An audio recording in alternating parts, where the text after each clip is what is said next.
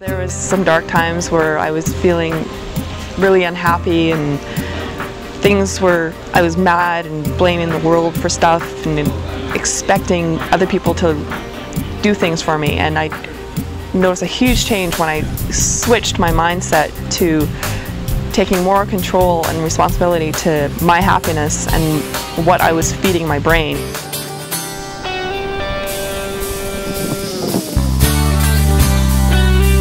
Hi, my name is Heather Martens and I'm a stay-at-home mom and I have three wonderful children and an amazing husband and I do internet marketing. Grew up with a, in a wealthy family. My parents had a hotel chain, eight hotels. And so it just, it frustrated me that I didn't get to see them very often. And so I just didn't really want to go down that route because I, I kind of associated them running a business as drilling long, crazy hours. I broke away from that, kind of rebelled, got into the uh, just working 9 to 5 with uh, regular jobs. First I was um, bussing tables, so I worked in restaurants. And then I was delivering auto parts, that was a fun job. And then I got into uh, graphic design. I went to a, a, private institute for graphic design and uh, typography at a local uh, private place just uh, in my in the town I grew up in. I had a mentor that I worked beside her for a while and then decided to pursue it as a career for a while.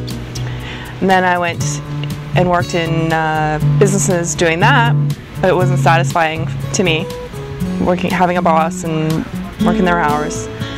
So I opened up my own shop in Alberta. It was in a mall, so I had to be open the mall hours. It was a challenge, but it was I was proud of it because I started it from scratch and it was a lot of fun. It lasted about a year and a half in the mall and then I ended up having to go bankrupt, which was really, really hard for me to deal with. I felt like it was admitting defeat. Totally changed my changed my perspective on running a business. After I shut down my business, I actually went back into the 9 to 5 I went to a print shop and uh, I completely hated every moment of it.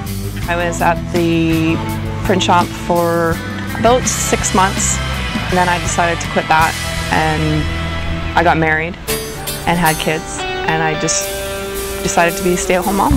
We've been together for 19 years. After my husband and I got married, we decided to have kids. I was going to stay home and be a stay-home mom and have 24-hour uh, attention on our new little ones because we saw how my older daughter was raised and, and how she grew up.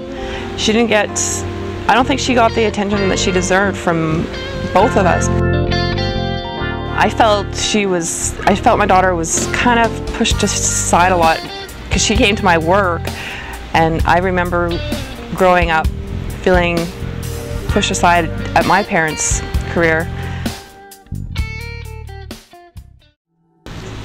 We have a way better relationship now because she's she's older and more mature and we get along a lot better now.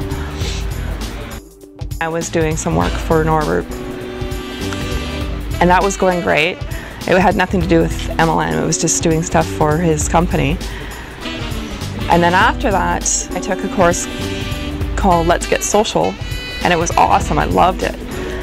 So then I stopped working for Norbert and I went off on on my own doing social media management. But then I got back into network marketing again. And because I was able to do my own social media management, I just, the internet just sucked me in. I loved it. It's kind of everything in one spot that I love. I can do my graphics, I can do my socializing, and I can run a business all online. So I was on this call one day and there's this couple, this crazy couple, and they are talking on the phone for this training call and they're in the jungles of Panama, there's these birds in the background. They're talking about how they travel the world with their little girl and I was like, I want to do that with my family. I hooked up with Rhonda and Brian Swan online and started doing business with them and they have been mentors to me like nobody else I've ever come across has been for me. They've really taken me under their wing and shown me how great you can be online. I never received those kind of tips from anybody else before. And I moved my, my family from Canada, freezing cold Canada, to Cabo San Lucas, Mexico, and we're just loving it. It's such a great feeling to go outside in my bare feet and be able to sit by the pool with my computer and get my work done while my kids are playing and I can talk to them as I'm doing my business rather than being stuck in an office somewhere and not seeing my kids all day long and then we're exhausted at the end of the day.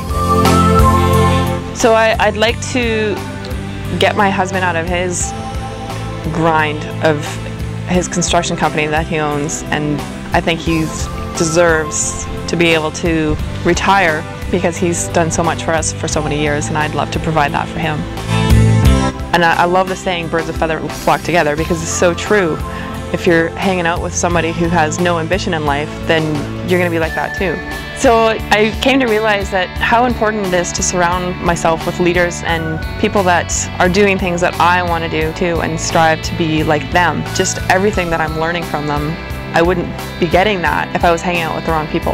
But it, with persistence and passion, because I love it so much, things are just going amazing. They're, it's really paid off, the work. If you're doubting, if you're questioning whether you should do an online business, look at what your values and your passions are, and if it's worth it to have the freedom, the satisfaction, then be prepared to put the dedication behind it because it, it isn't an overnight thing. It, it, does take dedication, but with that, then you can make it happen. If you're thinking about going to the next event, don't think, just do it. Make them make it happen. Whatever you have to sacrifice to do it, make it happen and you will never regret it.